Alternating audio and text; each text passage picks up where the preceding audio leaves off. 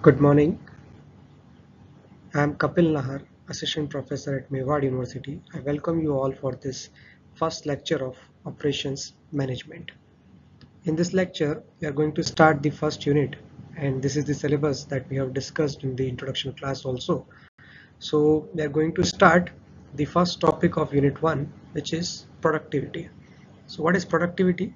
Productivity refers to the measure of how efficiently resources are used to produce goods, services or other desired outcomes. So in simple word, productivity is basically output divided by input.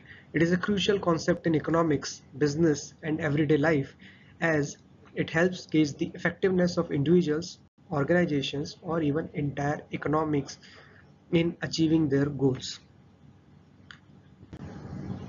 Now productivity can be uh, applied to various contexts including the first one is labor productivity. So what is labor productivity? This measures the efficiency of workers or employees in producing goods or services. It is often expressed as output per hour worked and can be used to assess the effectiveness of a workforce. Second is capital productivity.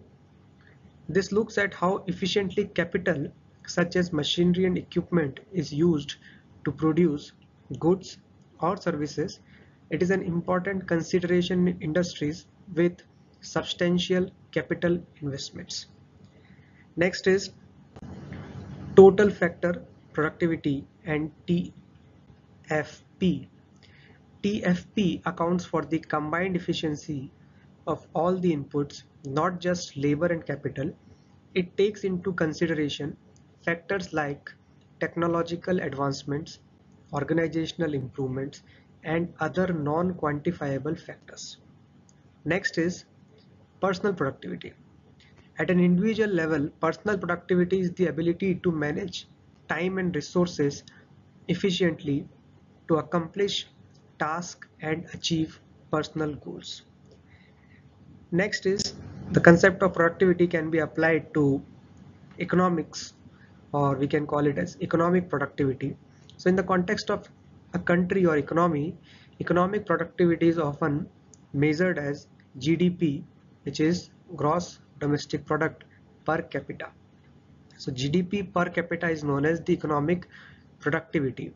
It reflects the overall efficiency of the economy in producing goods and services related to its population coming to the next uh, which is organizational productivity. In business organizational productivity measures how effectively a company utilizes its resources to generate revenue and profits. It can involve optimizing processes reducing waste and improving employee performances. So these are the various types of productivity uh, which and the productivity can be applied to the various context. Now productivity is basically an essential for economic growth and improved living standards. Higher productivity can lead to increased output and potentially higher wages and better living conditions. It is often a key focus for business and governments seeking to improve competitiveness and drive economic development.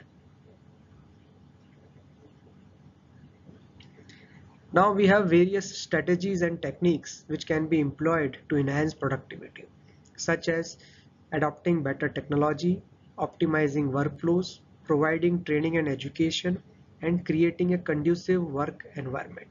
So these are some of the strategies that can be used to enhance the productivity at the organization level.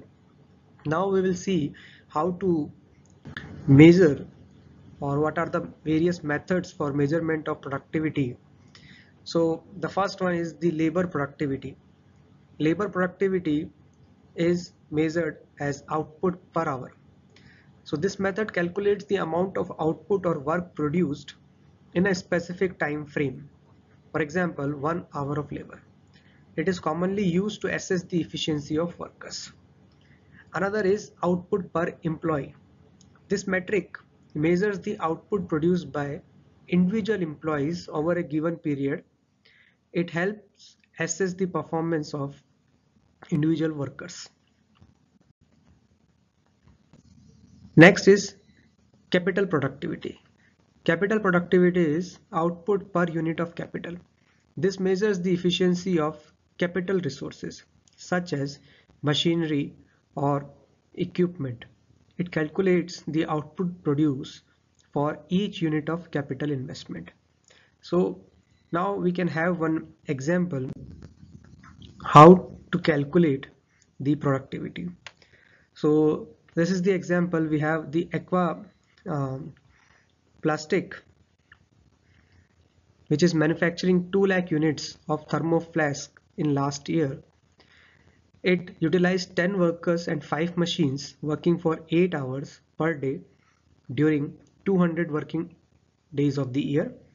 What is the productivity of the company with respect to the labor and machine inputs taken together?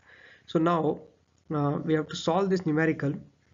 So basically uh, we have this uh, a company which is manufacturing 2 lakh units so this is the, basically the output of that particular manufacturing firm 2 lakh units we are manufacturing and then we have 10 workers and 5 machines working for 8 hours per day during 200 working days of the year. So now we have to calculate the productivity of this company with respect to labor and machine inputs taken together. So how to do that? So for that uh, um, what we are going to do is we are going to calculate uh, the productivity here. So uh, we can write it here as productivity. Basically it will be the output how many units number of units we have produced? Number of units produced divided by the input. Now the input is again here. In two parts we have input. One is the labor input and another is the machine input. So we have both the inputs with us. So uh, we have the labors working 8 hours per day and for 200 days in a year and we have 10 workers. So 10 workers working 8 hours per day for 200 uh, days in a year. And similarly we have a machine which is working for 5 hours per day for 200 um, sorry 8 hour per day and we have 5 machines. So the machine is also working 8 hours per day and we have 5 machines. So this is the number of machines number of machines. And this is the number of workers that we have. And this is 8 hours per day and 200 days in a year.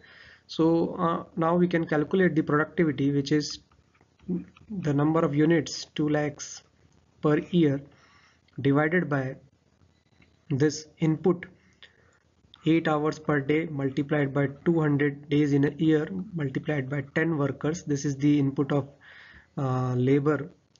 And since we have to calculate it collectively so capital or machinery is 8 hours per day again 200 days a year multiplied by 5 machines. So this is how we can calculate the productivity which will be 2 lakhs divided by so this will be like uh, 1600 multiplied by 15 and then you can solve it to find that it will be around 8.33 units per hour. So this is how we calculate the productivity. I hope it is uh, a very simple example that we have taken. So um, in the next lecture we will again discuss the various methods of productivity how to calculate and then we'll take some more examples on that. So in this lecture we have uh, defined productivity what are the various contexts in which the productivity is used and then finally uh, we have seen the formula for productivity or how to measure the productivity in case of labor productivity in case of capital productivity. And at the end we have taken one example where we have to combinedly use both the kinds of productivity and then uh, we have to calculate. So this is how uh, we can solve this numerical of productivity. So i hope it is clear to you. You can post any queries in the chat box also and I will be answering your queries and then we'll be in the next class or in the next video. Basically we are going to have a discussion on other kinds of productivity uh, so this is I think all about from my side.